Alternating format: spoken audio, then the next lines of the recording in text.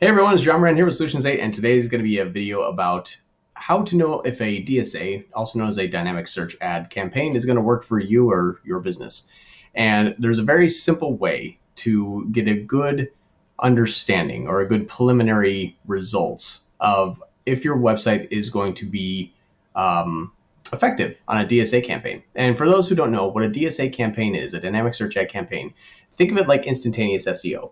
So Googlebot scroll, uh, scans your pages of your website and then identifies commonly searched keywords and key phrases that it believes will match to either your homepage or your blog or your about page or service page, products page, whatever it is. It dynamically generates a headline and dynamically generates the landing page that Google thinks is the most relevant to send a user to. Now, how this would work is when you start a DSA campaign, you don't you don't get to choose keywords. You get to choose ad targets, like what they call a dynamic ad target, which is essentially what pages you would want traffic to go to your site from or go land on, like your landing pages. And then Google is going to scan those pages and then run that in the location that you choose uh, with the daily ad spend that you choose and dynamically generate the ads and send traffic to the pages that you defined. Now, there's much more to this. I think we have a video on how to launch a DSA campaign. Um, if not, I'll I'll produce a video for you on that. But you can choose to negatively um, add in dynamic ad targets, saying I don't want my blog because my blog doesn't really talk about a lot of things that are specific to my business, but is good for visibility. Uh, so I don't want to really show up for any of those keywords. But you can choose like your homepage, product, services, about, contact, etc., and make sure that Googlebot is scroll- scanning all those pages and seeing if they are going to be able to produce relevant results. Now, normally uh, you just launch a DSA campaign. You look at the search terms. You start adding any negative keywords in there uh, that you think is relevant. You possibly change your dynamic ad targets or add new negative dynamic ad targets, whatever it may be, and you optimize the campaign that way. But you have to start uh, a DSA campaign to see what is what is going to happen, and that's traditionally. There is a trick that I'm going to share with you to look to see is your website optimized for DSA campaign. And what I mean by that is DSA campaigns they use the content on your site. They ignore your pictures, they ignore your logos, they ignore graphics, they ignore everything except for just your content. And if your content isn't specifically speaking about your products and services enough specifically, sometimes you can have a DSA campaign that shows just random results. Like I'll just give you an example. If you have a if you have a website that sells like cat condos, just as an example, um, and your product pages are not well defined in terms of their content, you could show up for searches like why do cats scratch? Not really a good high commercial intent key phrase for you to be bidding on. You're going to probably have to add that as a negative keyword. Uh, but you had to run that first uh, to see my content probably needs some work. Uh, I had to spend money to find out that it may be not the right time to run a DSA campaign. Maybe you need to take some time to focus on your content on your website first, uh, and then re-index your page through Google Search Console uh, reindexing your website through Google Search Console helps DSA campaigns identify the new content on your site. So I recommend doing that after you've made content changes. Um, but this is a way to identify will a good lead indicator of will this work for me. And so what you want to do is I'll take our website as an example, and you want to go to the tools and then go to Keyword Planner. And inside of Keyword Planner, you're going to say Discover New Keywords. And then instead of start with keywords, start with the website and you're going to put your website in there. So it's dosolate.com. Make sure to use the HTTPS and all the good stuff. Um, if your domain is on www, make sure you put that in there. If it resolves to a non www, make sure to use that one uh, instead. That's actually pretty important. Googlebot will see both, but whatever it resolves to, um, meaning that if you type in www, it redirects to a non www.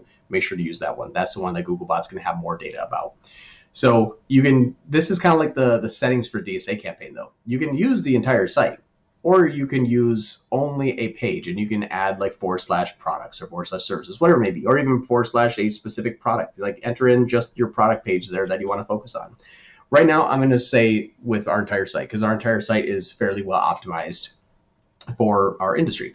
And so I'm going to click get results. And what you're going to see is I'm focusing on the United States English speaking language, um, and I'm giving projections to uh, based on the previous uh, search history.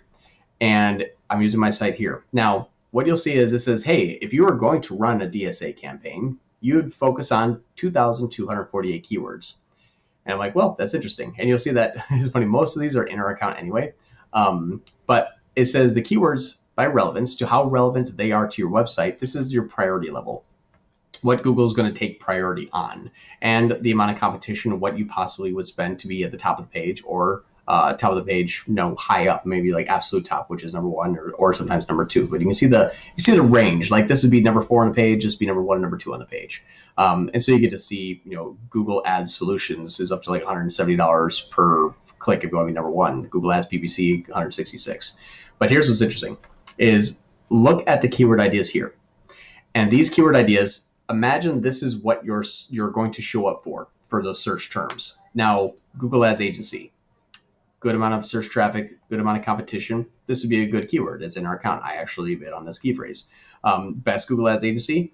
Google knows we're the best Google Ads agency, so obviously, like you know, it's just going to show up there. um, but that one obviously is in our account here as well. Google Ads Marketing Agency, Google PPC Agency, Google Ads Agency. All of these are really, really good.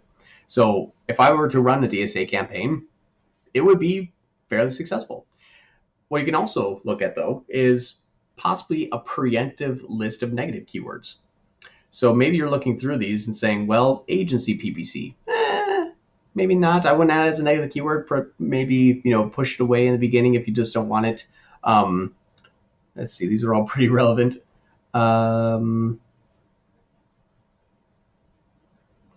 let's see. Uh, let's say here, Google Ads management fees you know, I'm not really necessarily looking for someone that might be a little bit more price conscious. So maybe that's a negative keyword.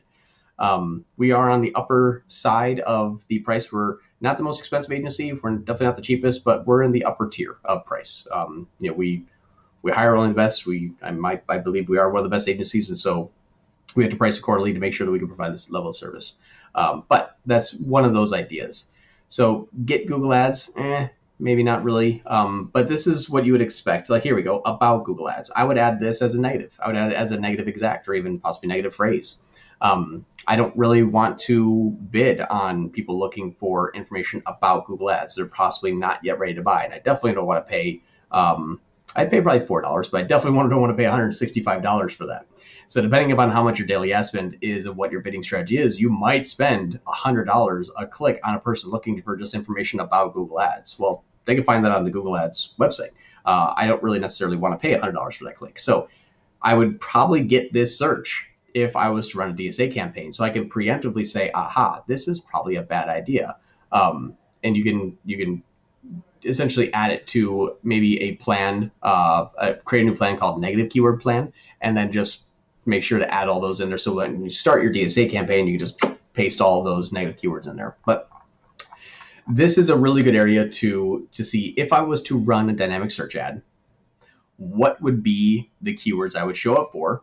What would be the keywords I would show up for that I don't want? Or what are some good keywords that I should be adding to my existing campaign? And identify where your existing campaign um, holes are by saying, well, this is a great keyword that I didn't even think about. I would add that actually to my my other campaign and leave DSA to be my learning campaign. Um, DSA is a great, great learning campaign. It basically says here's all the keywords that you're currently not bidding on, all the keywords that you're currently not pushing away from negative, and anything else that um, that you may get from a DSA campaign. It will give you the results. Like if you were to bid on this keyword more consistently, this would be the results that you would get because we got two searches, uh, we got one conversion. Um, we only showed up at less than 10% search impression share because it's a DSA campaign. It's going after all keywords. But if you see some preliminary keywords like that starting to prove viability and relevant, add them to your regular campaign. So it's just a, a way to identify will a DSA campaign work for your business. Don't spend the money yet. Use Keyword Planner, run your own website through it, and see if you like the searches that would uh, generate an ad for your company. Uh, thank you so much. This is John Morano Solutions 8. If you like this content, please like, comment, share, subscribe, uh, ask us all the questions you want. We go live quite often. Austin does it more than I do. I will find more time in order to do that. But uh, yeah, hopefully you found this information useful. Thank you so much.